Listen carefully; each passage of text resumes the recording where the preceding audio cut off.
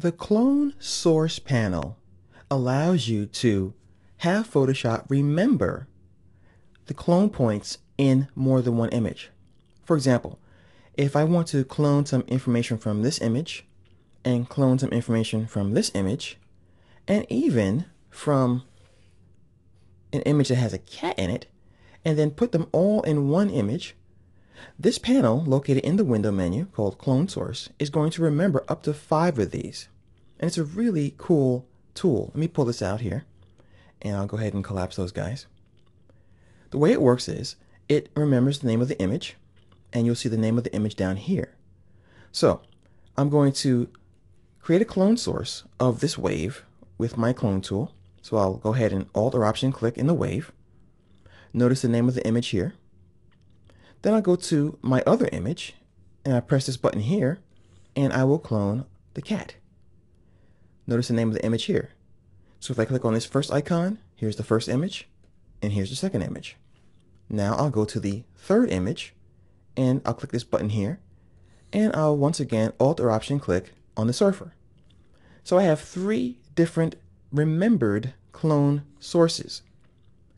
I can now go to this image and I can create another layer and I can choose from which image I like to paint.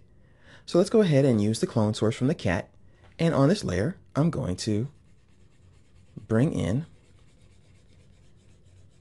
those pixels that belong to the cat. I'm going to increase the size of my brush. As you see here is that big eye of the cat. Then I'm going to click on this guy here and I'll create another layer. And now I'm going to bring in the surfer. So as you can see, the clone source gives you the ability to work with really cool collages based on several different images. So you don't have to drag and drop your different images into one complete file and then use layer masks to hide and show other portions of those other images.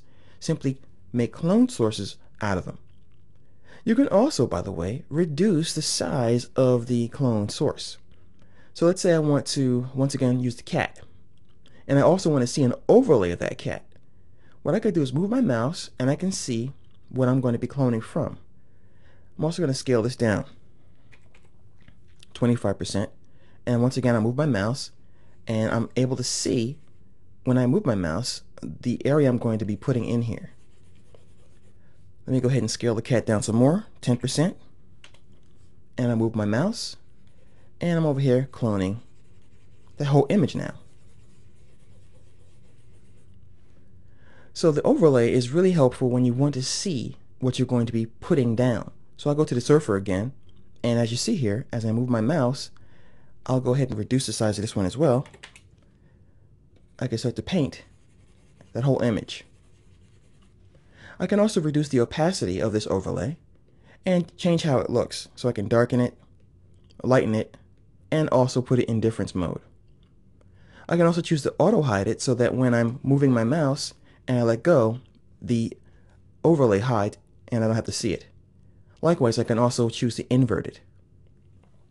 So I think that you'll find this very handy, especially if you are a collage artist and you want to combine several different images into one to create a finished piece of artwork.